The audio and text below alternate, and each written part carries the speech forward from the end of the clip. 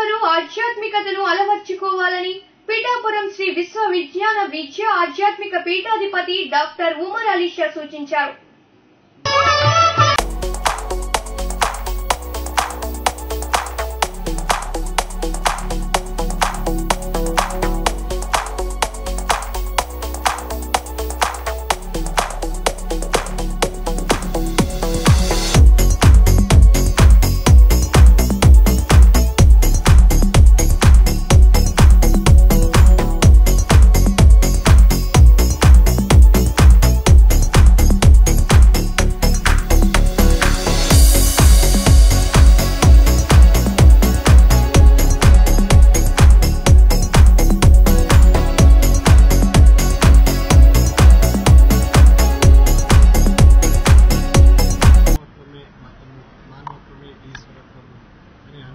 అనుభవపూర్వకమైన తాత్విక జ్ఞాన మార్గాన్ని ప్రసాదిస్తూ జాతి కుల మత స్త్రీ పురుష ధనిక పేద అనేటువంటి వ్యత్యాసం లేకుండా సర్వమత సమత్వమైనటువంటి ఆధ్యాత్మిక తత్వాన్ని ప్రసాదిస్తూ మనలో ఉన్నటువంటి జీవాత్మే పరమాత్మ స్వరూపము.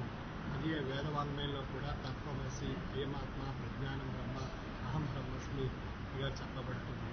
ఆ విషయాన్ని సూఫీ తత్వంలో కూడా పరమోక్షం చేతుల్లో ఉన్నటువంటి విషయం.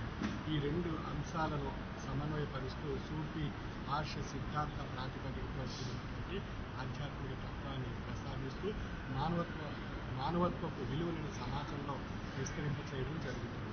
ఈనాటి సమాజంలో మానవత్వపు విలువలు అంతరించిపోవడానికి కారణం ఆధ్యాత్మిక విలువలు లేకపోవడం అంటే ఆధ్యాత్మిక తాత్విక జ్ఞానాన్ని మనం ప్రతిరోజు కొంత సమయం పూజా గదిలో మన ఇష్ట దైవాన్ని అర్థిస్తూ పూజిస్తూ ఆధ్యాత్మిక గ్రంథ పఠనం చేసినట్లయితే మనలో ఆధ్యాత్మిక తాత్విక ఆలోచన శక్తి వృద్ధి చెంది మానవతా విలువలు సమాజంలో ఏర్పడుట చేత సమైక్యత